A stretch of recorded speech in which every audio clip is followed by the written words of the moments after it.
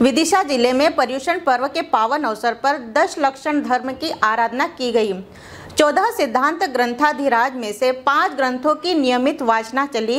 इन ग्रंथों का विधिवत तिलक कार्यक्रम हुआ।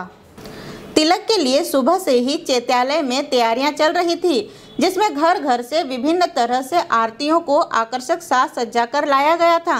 पंडित जी ने तिलक कर्ताओं के हाथों में चंदन से स्वास्तिक बनाकर अध्यात्म वाणी को सिर माथे रखकर श्री वेदी जी की परिक्रमा कर अस्थाप कराया। संगीतमय बड़ी मंदिर विधि की गई, जिसमें जमकर चवन नृत्य किए गए।